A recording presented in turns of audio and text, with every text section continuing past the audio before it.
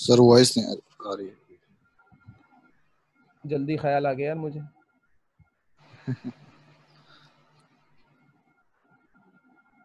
ये वॉइस शुरू से बंद पड़ी हुई थी। नहीं सर अभी हुई है। हाँ खैर है चलो खैर है मसला नहीं। अच्छा जी कैश कंसिडरेशन आ गई ठीक है। अब इसके अंदर हम डालते हैं अभी शेयर और डेट को छोड़ते हैं और डेफर्ड कंसिडरेशन की बात करते हैं। नई चीज़ है तुम्हारे लिए। कि तुमने एफ़ थ्री लेवल के ऊपर नहीं पढ़ी। डेफर्ड कंसिडरेशन क्या होती है?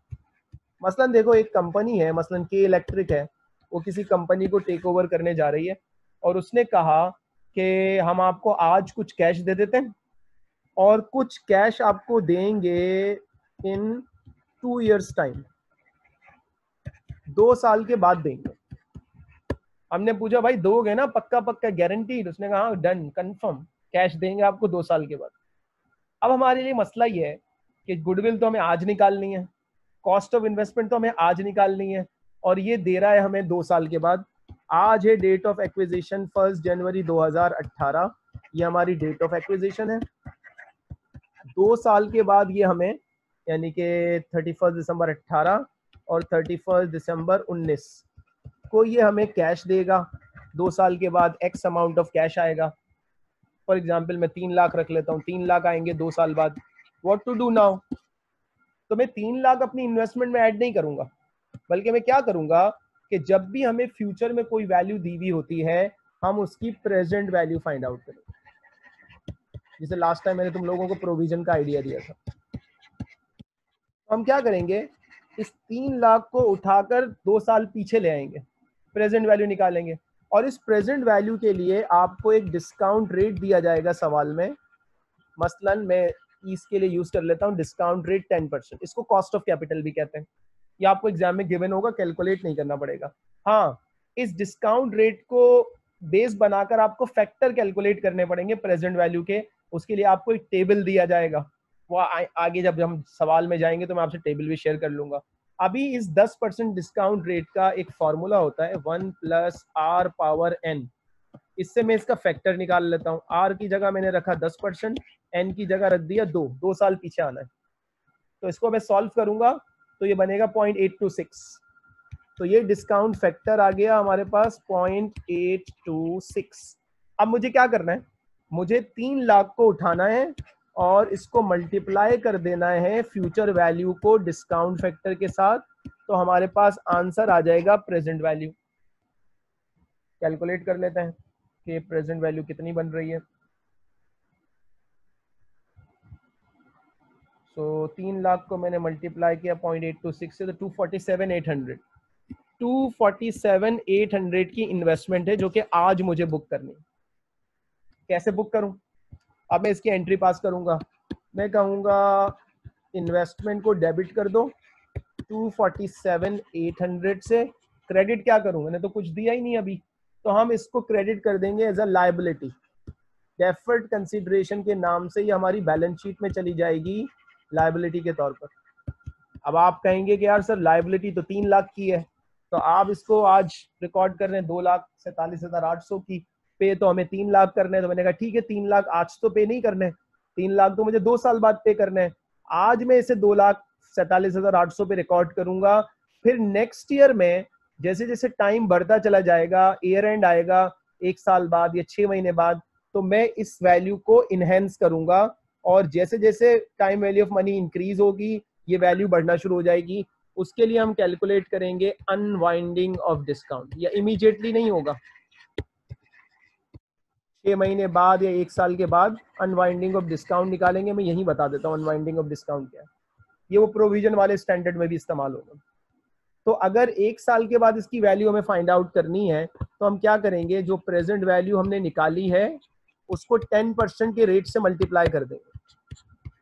तो ये हो गया two four seven eight zero ये आ गया इसमें अनवाइंडिंग ऑफ़ डिस्काउंट बेसिकली क्या कर रहे हैं हम? पहले एक चीज़ को प्रेजेंट वैल्यू पे लाए फिर उस चीज़ को दोबारा फ्यूचर वैल्यू की तरफ़ लेके जा रहे हैं, ताकि दो साल के एंड पर हमारी लाइबिलिटी तीन लाख के बराबर हो जाए। अब इसकी इसकी एंट्री क्या बनेगी? ये बेसिकली आपका इंटरेस्ट है फाइनेंस कॉस्ट है इंटरेस्ट एक्सपेंस है ये आपका। और इंटरेस्ट एक्सपेंस कहाँ जाता है? इंटरेस्ट एक्सपेंस आपको पता है कहाँ जाता है? प्रॉफिट एंड लॉस अकाउंट में एज एन एक्सपेंस जाता है। तो अब मैं इसकी एंट्री पास करूँगा two four seven eight zero की। तो हमारे पास की एंट्री पास होगी। फाइनेंस कॉस्ट को डेबिट करेंगे। आप direct profit and loss account और रिटेन अर्निंग को भी डेबिट कर सकते हैं। और डेफर्ड कंसिडरेशन को क्रेडिट कर देंगे या लाइबिलिटी को क्रेडिट कर देंगे। Two four seven eight zero यह आपकी अनवाइंड की एंट्री बन गई। एक साल बाद की एंट्री है ये। इमीडिएटली नहीं बनेगी। एज ए रिज़ल्ट एक साल के बाद अगर मुझसे ये कोई पूछे कि बताएँ बैलेंस शीट में लाइबिलिटी कितनी जाएगी? तो मैं कहूँगा two four seven eight zero ये तो पहले से बैलेंस शीट में रखी हुई है। इसमें ये ऐड कर दो तो हमारी लाइबिलिटी एक साल के बाद हो जाएगी two seven two five eight zero फिर आप इस two seven two five eight zero पे फर्दर एक साल का डिस्काउंट फैक्टर डिस्काउंट रेट लगाएँगे तो ये दूसरे साल के एंड पे तीन लाख हो जाएगी। और फिर आप उठा के उसको पे कर देंगे। सही है जी? ये कॉन्सेप्ट क्लियर है? सबको समझ में आता है। पहले पीवी निकाली मैंने और उसके बाद फिर अनवाइंडिंग ऑफ़ डिस्काउंट निकाल लिया। इसी से रिलेटेड दूसरा कॉन्सेप्ट है जिसको हम कहते हैं कॉन्टिजेंट कंसिडरेशन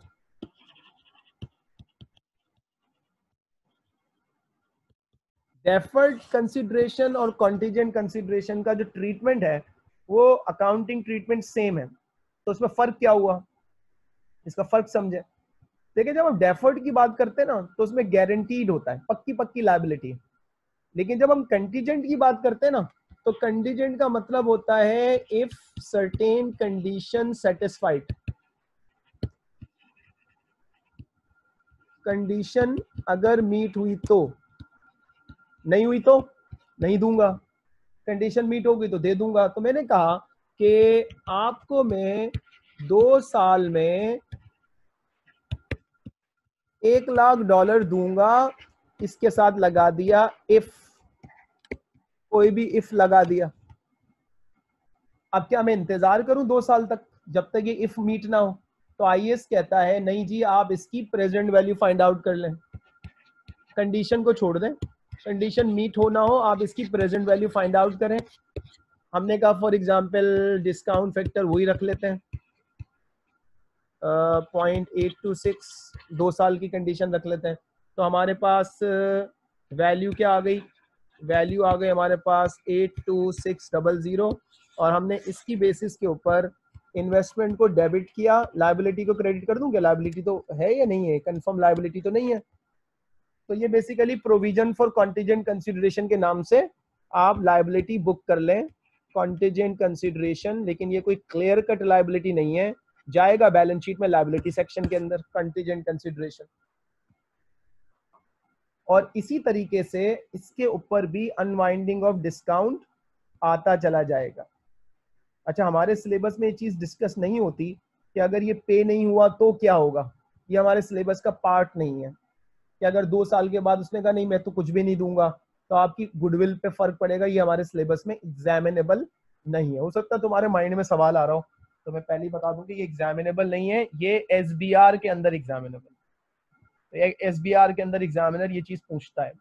अच्छा दूसरी बात आप जहन में रखें कि जब कंटीजेंट कंसिडरेशन होगी ना तो सवाल में अगर कहे प्रोबेबिलिटी ये है, नहीं देंगे तो आप कुछ भी कंसिडर नहीं करेंगे। चाहे प्रोबेबल हो पॉसिबल हो वट कुछ भी हो, आपको डायरेक्ट क्या देखना है? कंटीजेंट कंसिडरेशन है, उठाओ पीवी निकालो और बुक कर लो। बाद में अनवाइंडिंग करके तो इसके ऊपर भी अनवाइंडिंग याद रहे, इसके ऊपर भी जो भी चीज़ पीवी पे रिकॉर्ड होती है, उसका unwinding of discount finance cost के अंदर आपको बुक करना पड़ेगा। तो ये तो दो बातें हो गई ना, आपकी कैश कंसिडरेशन हो गई, आपके डेफर्ड हो गई, आपकी क्वांटिजेंट कंसिडरेशन हो गई। अब हम चलते हैं शेयर एक्सचेंज के ऊपर, जो कि थोड़ा सा ट्रिकी है स्टूडेंट फंसते हैं इसके अंदर। Share exchange. देखिए, मैं आपको सिंपल सी एग्जांपल से समझाता हूँ। ए और बी ए कंपनी जो है, वो बी कंपनी को एक्वायर करना चाह रही है। सही है? अब जो बी कंपनी के एग्जिस्टिंग शेयर होल्डर हैं, उनसे शेयर्स लेंगे ना ये कंपनी वो आपको देंगे तो लेंगे ना भाई। तो आपने उनको एक ऑप्शन दिया। आपने कहा, एक काम करो यार, हमें आप अपने शेयर्स दे दो, ये बेच दो उसने कहा, हमें क्या मिलेगा? उन्होंने कहा कैश कंसिडरेशन ले लो। उन्होंने कहा, नहीं चाहिए कैश कंसिडरेशन बिकॉज़ हम तो इन्वेस्टमेंट में रहना चाहते हैं। उसने कहा, एक काम करो, हमारे शेयर्स ले लो। अपने शेयर्स दे दो और आप बी कंपनी के अंदर जो आपकी ऑनरशिप है उसको छोड़ दो और अब आप एक कंपनी के शेयर होल्डर बन जाओ। अच्छा उन्हें लगता है कि एक कंपनी बड़ी सक्सेसफुल जा रही है, आगे जा रही है। उन्होंने कहा, ठीक है। तो इसमें क्या होता है एक कंपनी को आप एक्वायर करते हैं और उसको अपने नए शेयर दे देते हैं। इसको कहते हैं शेयर एक्सचेंज मैं एक एग्ज़ाम्पल के थ्रू समझाता हूँ। फॉर एग्ज़ाम्पल ए बी ने 80 परसेंट शेयर एक्वायर किए।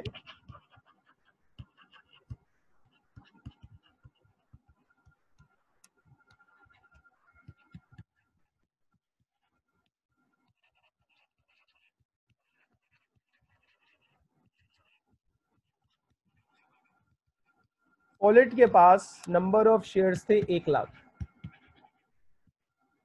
शेयर प्राइस चल रही है उसकी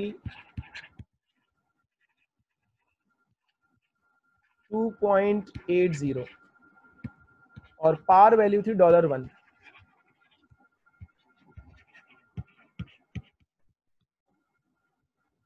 सही है?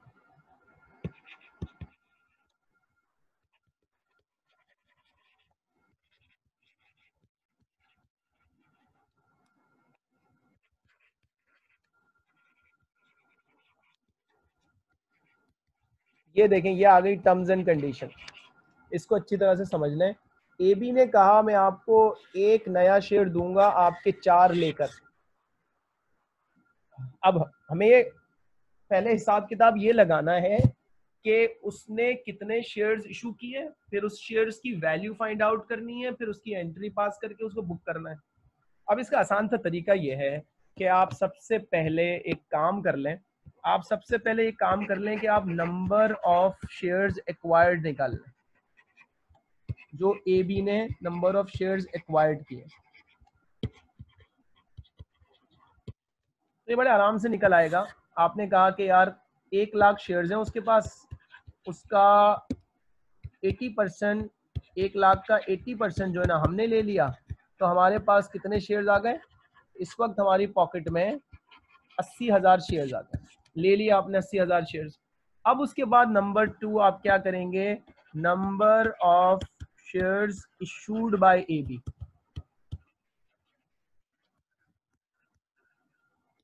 तो उसको आप टर्म से देखेंगे. One four four one four four be careful ये टर्म टेंशन दे सकती है आपको एग्ज़ाम में. One for every four acquired ये तुम लोगों ने कंपनीज़ अकाउंट में राइट और बोनस में भी पड़ी हुई होंगी. तो अब मैंने जो भी नंबर ऑफ़ शेयर उसके एक्वायर किए हैं, उसको मैंने फोर से डिवाइड किया और वन से मल्टीप्लाई कर दिया। तो हर चार के अगेंस्ट में अपना एक शेयर इशू कर रहा हूँ। तो कितने नए शेयर्स मैंने इशू किए? Twenty thousand new shares issued मैंने बीस हज़ार नए शेयर्स इशू कर दिए। अब मैं इसकी वैल्यू निकालूँगा। तो बीस हज़ार शेयर जो मैंने इशू किए हैं, एक शेयर की मेरी मार्केट वर्थ चल रही है।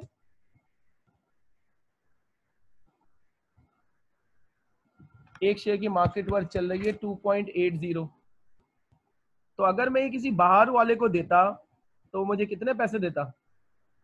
वो मुझे बीस हज़ार शेयर्स को 2.8 से मल्टीप्लाई करके कहता, आपको मैं 56 डॉलर थाउज़ेंड डॉलर दूँगा। ये मेरी इन्वेस्टमेंट की वैल्यू होती, जो कि मैंने कैश की फॉर्म में वसूल नहीं की कंपनी एक्वायर करके वसूल की। अब मैंने बुक करना है। तो मैंने कहा कि इतनी मेरी इन्वेस्टमेंट हो गई कंपनी में। इन्वेस्टमेंट को डेबिट किया 56,000 से। शेयर कैपिटल को क्रेडिट कर दूँगा और अगर कोई प्रीमियम होगा तो उसको क्रेडिट कर दूँगा।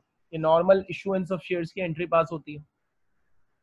तो अब कैपिटल जो है वो नंबर ऑफ़ शेयर्स आपने जो इशू किए हैं वो कितने? बीस हज़ार और पार वैल्यू है वन तो कैपिटल क्रेडिट हो गया बीस हज़ार से और उसके बाद आपका जो एक्सेस है, वो प्रीमियम में चला जाएगा। तो एक्सेस बना 1.8 और ये बना थर्टी सिक्स थाउज़ेंड तो पेरेंट कंपनी अपने पास शेयर कैपिटल बुक करेगी बीस हज़ार का क्रेडिट और प्रीमियम बुक कर लेगी थर्टी सिक्स थाउज़ेंड का। ठीक है जी? शेयर इशुएंस अगर क्लियर है तो आप ओके का मैसेज करें, ताकि हम फिर आगे बढ़ते हैं।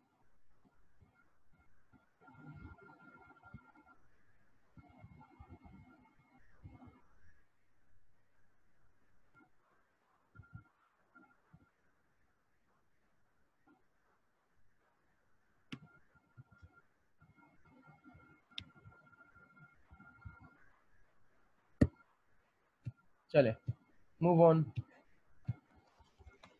अच्छा जी, एक एक्सपेक्ट हमारा रह गया है और वो है इशुएंस ऑफ़ लोन नोट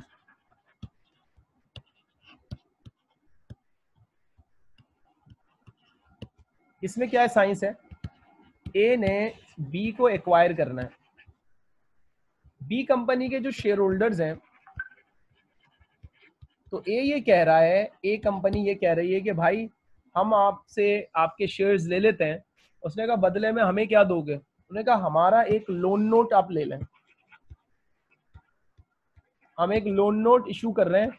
आप वो ले लें लोन नोट उसके अगेंस्ट इसका मतलब है, वो बी कंपनी के शेयर होल्डर्स को ये कहना चाह रहे हैं कि, भाई, आप शेयर होल्डर ना ही रहो। शेयर्स दे दो हमें और उसकी जगह एक फिक्स्ड इनकम ले लो। शेयर होल्डर्स ये इवेल्युएट करेगा कि, यार शेयर्स लेता हूँ तो डिविडेंड मिलेगा, वो गारंटीड नहीं होता। और कैपिटल गेन होगा शेयर प्राइस गिर भी सकती है। लोन नोट में तो मुझे फिक्स इंटरेस्ट मिलेगा, हो सकता है कि वो लोन नोट के ऊपर एग्री हो जाए या पार्शली एग्री हो जाए, ठीक है? अब जो ए कंपनी है, उसने लोन नोट इशू किए। तो वो अपने पास सिंपल सी एंट्री पास करेगी, जितने अमाउंट के उसने लोन नोट इशू किए हैं, वो अपने पास इन्वेस्टमेंट को डेबिट कर देगी और लोन पेबल को क्रेडिट कर देगी कि ये लोन नोट उसको पे ऑफ़ करने हैं। सब्सिडी कंपनी के शेयर होल्डर्स को जब उसकी मेच्योरिटी आ जाएगी, एक एग्ज़ाम्पल कर लेते हैं तो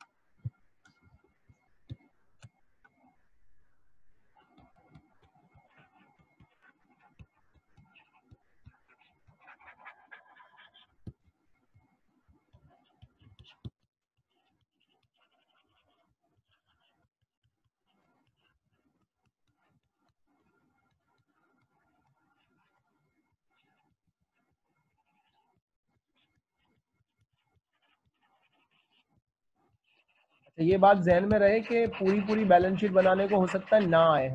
पार्शल आपसे कोई चीज़ पूछ ले गुडविल की कैलकुलेशन एनसीआई जैसे एफ़ थ्री के अंदर आता है, या एमसीक्यू उसके अंदर आपसे पूछ ले कि भाई डेफर्ड कंसिडरेशन की वैल्यू निकाल के दे दो, इस तरह से सवाल आ सकते हैं।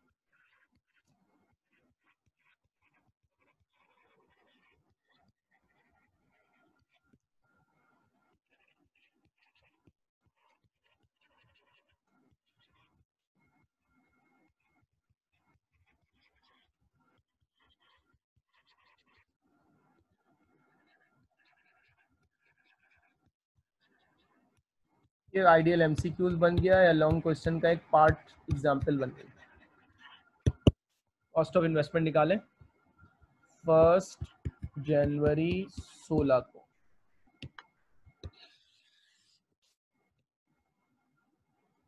अच्छा जी।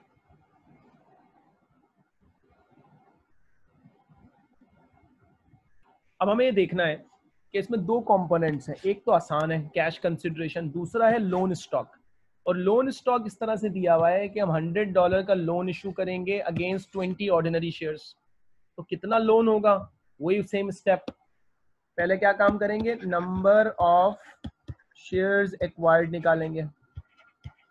कि हमने नंबर ऑफ़ शेयर्स कितने एक्वायर किए? हो सकता है number of shares directly given हो। सो so, एक लाख का सत्तर परसेंट कितना होता है? हमने सेवेंटी थाउज़ेंड शेयर्स एक्वायर किए। दिया क्या उसको? हर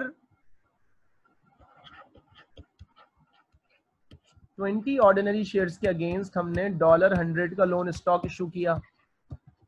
तो कितने डॉलर की कितना लोन स्टॉक इशू हुआ? सो so, ये बनेगा आपका सत्तर हज़ार divided by twenty multiply by hundred तीन लाख पचास हज़ार। तो ये आपके तीन लाख पचास हज़ार के लोन स्टॉक्स आ गए। अब आप इसको कैलकुलेट करके एंट्री पास करेंगे तो टोटल इन्वेस्टमेंट कितनी हो गई?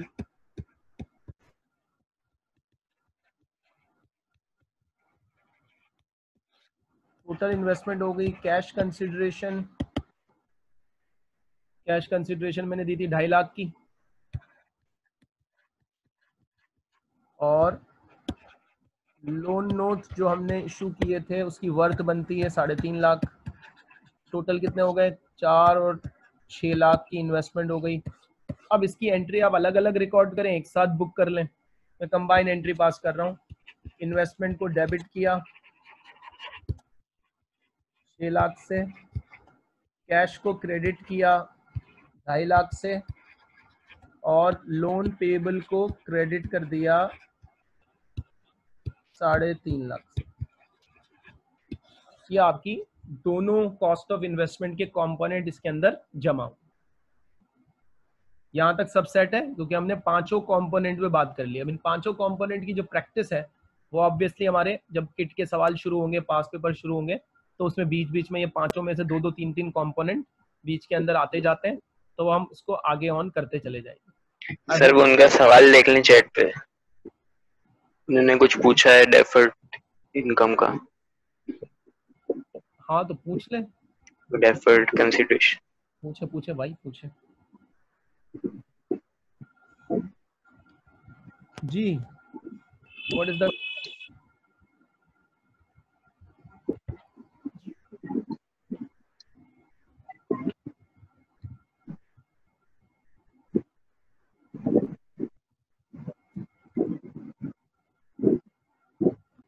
ये आ गई आपकी एक्विजिशन डेट